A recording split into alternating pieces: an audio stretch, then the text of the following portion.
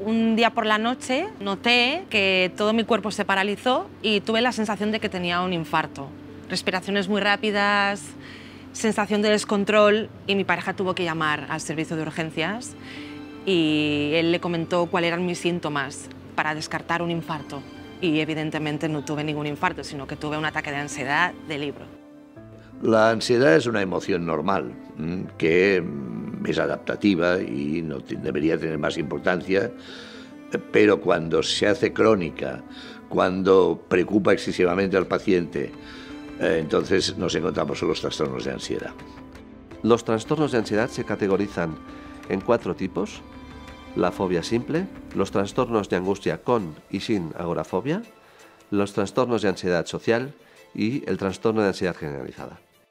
El trastorno de ansiedad generalizada se distingue fundamentalmente por el pavor a la preocupación, por el pavor a la incertidumbre y eh, marca absolutamente la conducta y el devenir de las personas que lo sufren. Se habla de diferencias entre hombres y mujeres, probablemente hay más mujeres que hombres. Esto se ve más en fobias, pero en este trastorno también. Me daba miedo ir al metro, me daba miedo ir a comprar, me daba miedo ir al baño. Ojo eh, con lo que estoy diciendo. Me daba miedo pensar, me daba miedo gestionar todas las emociones en ese momento porque estaba... Era como, no sé, imaginaros una botella llena de capas de diferentes colores. Es como si me hubiera o sea, como si hubiera hecho así y todas las capas estaban desordenadísimas. Tenía que volver a ordenarme. Las características comunes de todos los trastornos son eh, el sufrimiento por la necesidad de control, la tendencia a la preocupación, características eh, de somáticas como eh, dolores físicos y psicofisiológicos, taquicardia, sudoraciones, temblores, dificultades para respirar. La consulta a urgencias de un paciente ansioso por dolor torácico es muy habitual. Son pacientes que consultan por un dolor que ellos explican como opresivo, como una losa que se irradia al brazo, que son los síntomas clásicos y habituales de un dolor torácico que conoce la mayoría parte de la población. ¿Qué pruebas nos ayudan en urgencias? Básicamente tenemos dos pruebas, pero con limitaciones. Una es el electrocardiograma y la otra es la determinación analítica con troponinas. Una crisis de ansiedad nos puede determinar una cantidad de cascadas en el cuerpo que nos van a producir daño a nivel cardiovascular. Y no solamente cardiovascular, sino a nivel metabólico también, subiéndonos el azúcar o modificando el perfil lipídico. Los procesos, por ejemplo, de tipo gastrointestinal, procesos cardiopáticos, procesos oncológicos, procesos de distinta índole, que en los que la salud mental está interfiriendo de forma negativa y los trastornos de ansiedad no son no escapan a ello.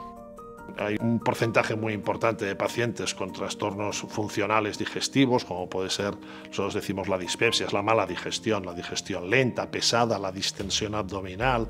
Eso es una consulta muy frecuente y siempre, o casi siempre, en, en estas patologías hay ese componente de ansiedad. Incluso en las enfermedades orgánicas, en las que hay una causa eh, patológica, como puede ser la enfermedad inflamatoria intestinal, que es la enfermedad de Crohn, la colitis ulcerosa y el estrés y la ansiedad influyen muchísimo. Se ha demostrado que provocan o desencadenan brotes de la enfermedad.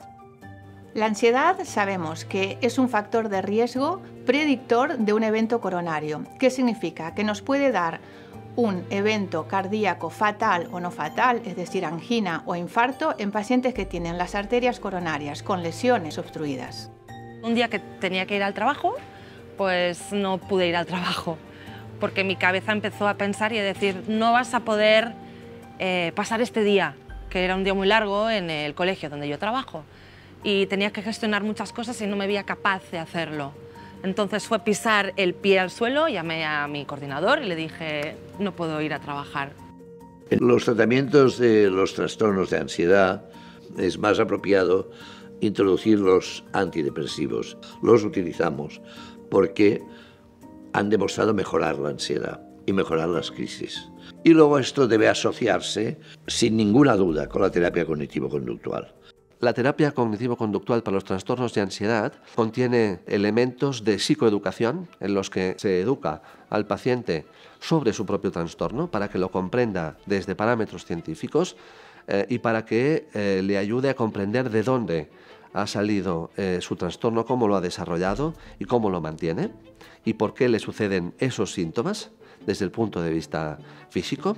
Luego se le ayuda a afrontar situaciones en las que debido al trastorno de ansiedad las está evitando, las está afrontando de forma disfuncional y se le ayuda a modificar los pensamientos que están manteniendo esa relación eh, con el medio, se le ayuda a desdramatizar, a descatastrofizar, a ver las cosas de una manera eh, menos amenazante, con las expectativas adecuadas. Es como ir al gimnasio, cada día, cada día. Ahora estoy mejor, pero lo he pasado muy mal. También hay otras eh, herramientas terapéuticas que son y se han demostrado útiles. Por ejemplo, la práctica deportiva regular es buena para la salud en general y también para los trastornos de ansiedad.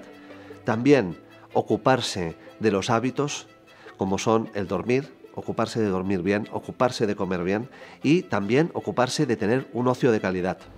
Volver al trabajo me fue súper bien, porque mi mente en el trabajo en el que estoy me hacía pensar únicamente en el trabajo. Cuando salía del trabajo ya me relajaba, pero ir al trabajo me dio las herramientas para decir, estás bien Marta, lo que pasa es que tu cabeza está muy, muy acostumbrada a lo que le has dado, que es imaginarte cosas que no son. En todas las enfermedades el diagnóstico precoz es esencial. Es evidente que muchas de estos trastornos empiezan en la adolescencia tardía, pero empiezan, algunos incluso empiezan ya eh, en la infancia. Creo que ya va siendo hora de hablar con naturalidad de la ansiedad porque no deja de ser algo que nos pasa a diario, o nos ha pasado, pero no lo sabemos. Entonces creo que dar herramientas a gente pequeña que está en el colegio, instituto sobre todo, creo que estaría bien porque hay que aceptar ciertas cosas y, y la mente es súper importante.